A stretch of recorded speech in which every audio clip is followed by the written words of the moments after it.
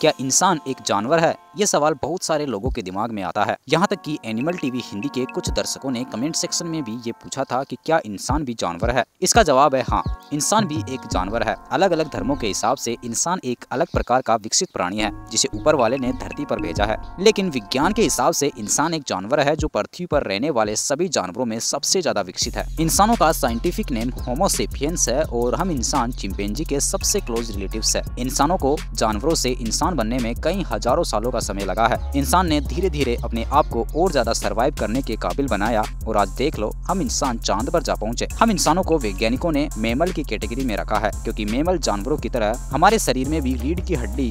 शरीर पर बाल और कई सारी ऐसी विशेषताएं हैं जिनकी वजह से हम जानवरों से मिलते जुलते हैं और इसीलिए हम इंसान भी जानवर है ऐसे शानदार वीडियोस देखने के लिए इस वीडियो को लाइक और चैनल को जरूर सब्सक्राइब करें